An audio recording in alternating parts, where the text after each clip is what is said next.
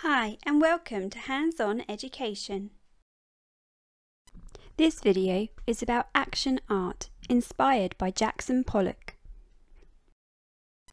In the 20th century, artists began to create abstract works of art, experimenting with colours and shapes in new ways. This style of painting does not portray specific objects or images, but allows people to form their own ideas about what they see.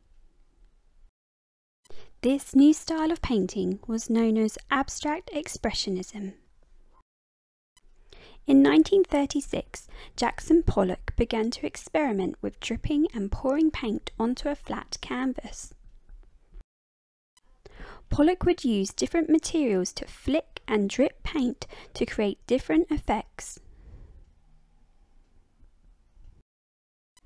Moving around the canvas allowed Pollock to see his artwork from different angles.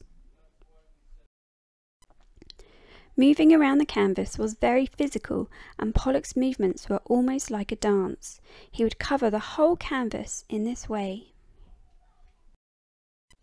This new technique of Pollock's, where he continually moved as he painted, throwing, flicking, dripping, pouring paint continually, was known as action art. Splattering the paint onto the canvas also created different textures. Some parts of the painting would be rough, bumpy and coarse, while other areas would be smooth and sleek. For your hands-on activity, create your own artwork by flicking and dripping paint onto a canvas. Move around the canvas to create different effects and see your work from different angles. Use colours and shapes to express how you are feeling, and when you have finished, touch your painting to feel the different textures you have made.